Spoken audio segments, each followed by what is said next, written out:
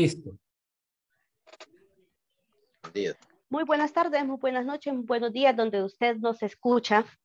Eh, le saluda la periodista Isis Rubio y esta tarde nos acompaña en una entrevista más de Proceso Digital y Departamento 19 el presidente de la organización 15 de septiembre, don Juan Flores. Muy buenas tardes, Juan. Muy buenas tardes, licenciada, y gracias a Proceso Digital por invitarnos a estar aquí y poder hablar del acontecer, ¿verdad? Migratorio aquí en los Estados Unidos, específicamente en el estado de Florida, con la ley SB 1718.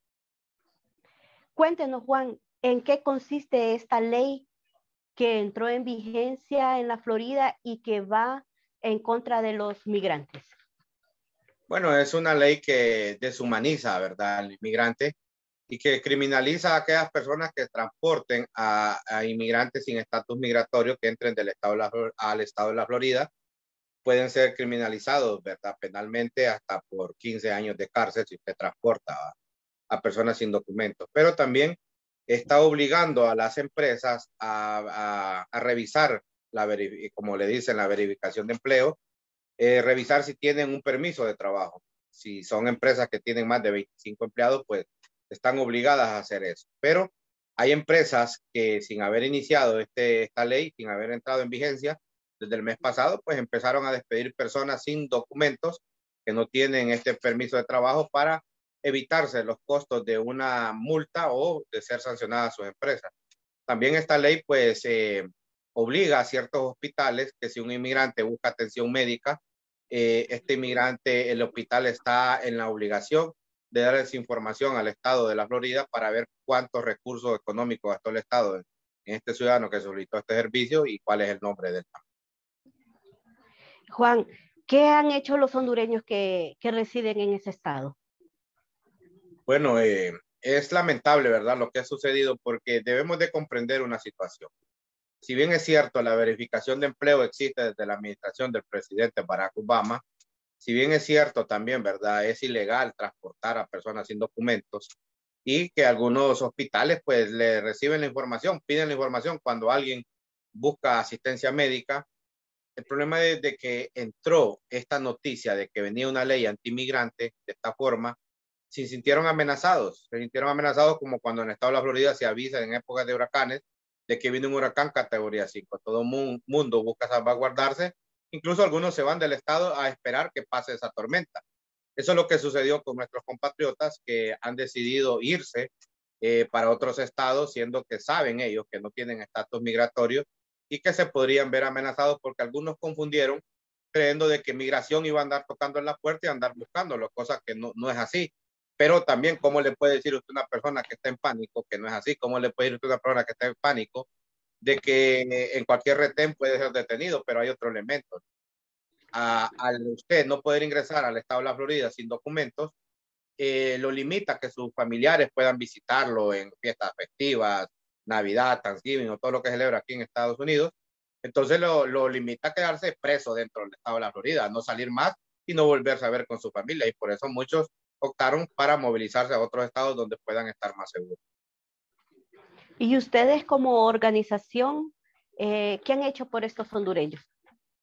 Bueno, no solo por los hondureños, sino que hemos estado alzando la voz por la comunidad hispana. Hemos estado en Tampa, Florida, haciendo varias protestas, alzando la voz, ¿verdad?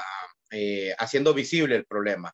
Y no solo con los medios hispanos, sino que con los medios locales e internacionales en inglés, para que puedan darse cuenta que hay un submundo que existe en la inmigración ilegal y que deben de buscarle una solución por medio de una reforma migratoria, que es una promesa de campaña que hizo la administración del presidente Biden y no la ha cumplido, pero también alzando la voz porque son derechos constitucionales, derechos civiles que le están violentando a los inmigrantes, que muchos creen que por ser inmigrante usted no tiene derechos, son seres humanos hay que tratarlos como humanos.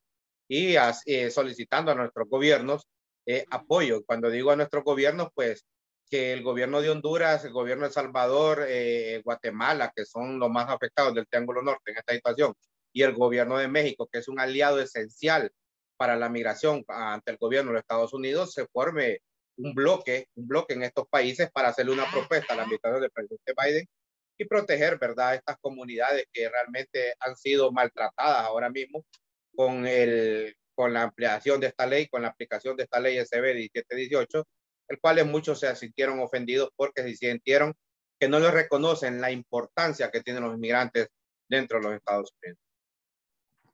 Ustedes, eh, asimismo, ustedes como organización, aparte de las protestas, ¿tienen pensado eh, introducir alguna demanda ah, ante lo lesiva que es esta ley? Bueno, recuérdese que para esto eh, hay que tener un detalle bien importante. Esta ley está bien pensada por el gobernador Ron DeSantis. Nos decían nuestros asesores en temas legales y de derecho constitucional que el gobernador Ron DeSantis pues es ingresado de Harvard y los abogados que planearon y planificaron esta ley.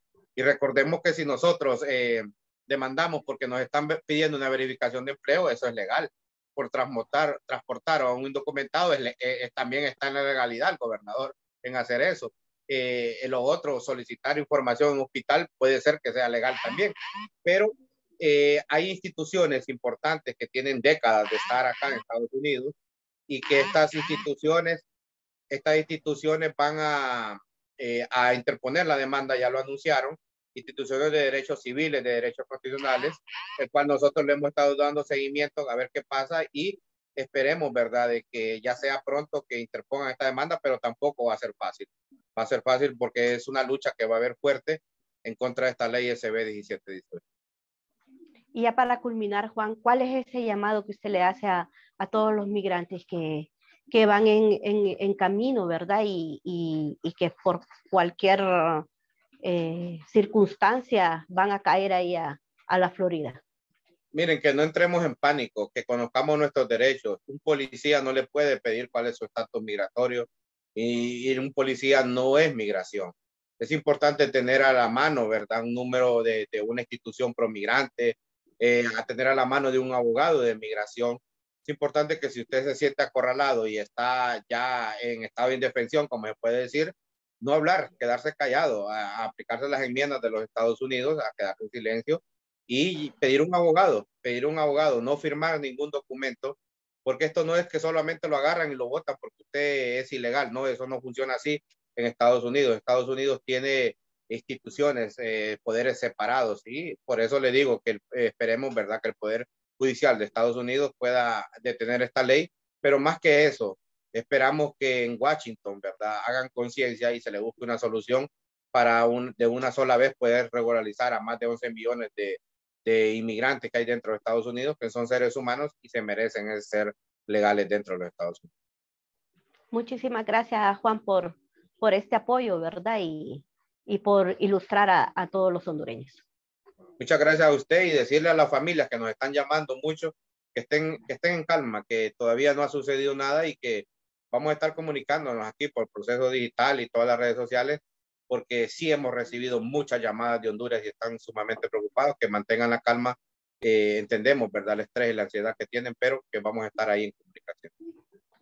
Gracias. Esta y otras noticias puedes siempre buscarlas a través de todas nuestras redes sociales. Pasen todos. Muy buenas tardes.